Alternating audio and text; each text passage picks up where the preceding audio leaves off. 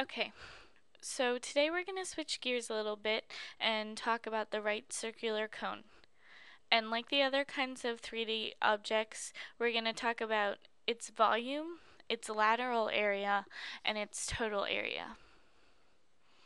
So the volume of a right circular cone is equal to 1 third pi r squared times height. Now remember, when we talk about the height, we're talking about this height that is drawn in perpendicular to the base. So say this is the center of this circle, and it's drawn perpendicular from the top of the cone to the center of the circle. Okay, so to solve the volume of this cone, we're going to take 1 third pi r, which is 3, squared times our height, which is 4. So v is equal to 1 third. 9 squared is 9 pi times 4. 1 third of 9 is 3, so 3 pi times 4.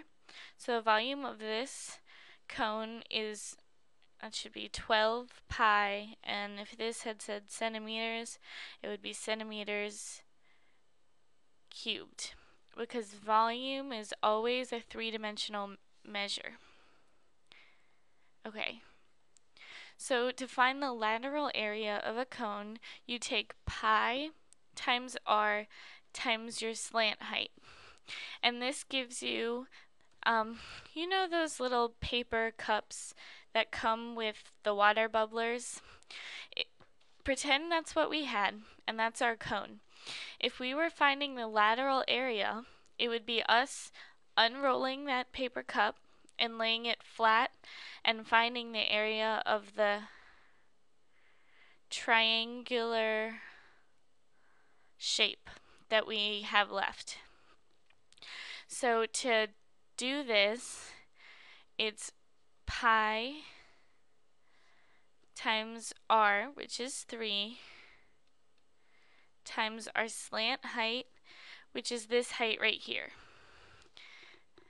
It's the height that makes a right triangle with the regular height and the radius.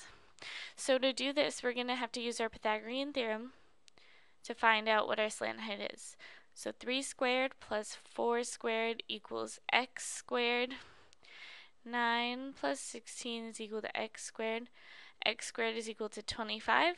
If we take the square root of both sides, we get x is equal to 5. So this is 5. So for our lateral area, it's pi times 3 times 5. So we would have 15 pi, and if we had units, it would be units squared, because whenever we find an area, we're finding a two-dimensional measure. So to find our total area, we have to take what our lateral area is, which we find by taking pi times our radius times our slant height. And we're going to add it to the area of this circle, so pi r squared.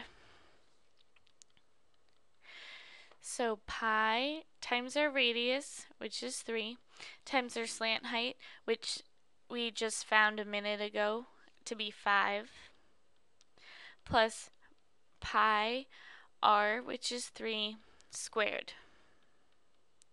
So our total area is equal to 3 times 5, 15 pi plus 9 squared is 9, or excuse me, 3 squared is 9.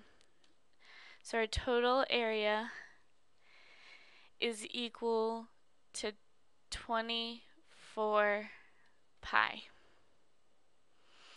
units squared. Um, that's actually all we have today dealing with the right circular cone. Um, but make sure you come back to our next and watch our next video, which is all about logic and certain statements we use to prove things.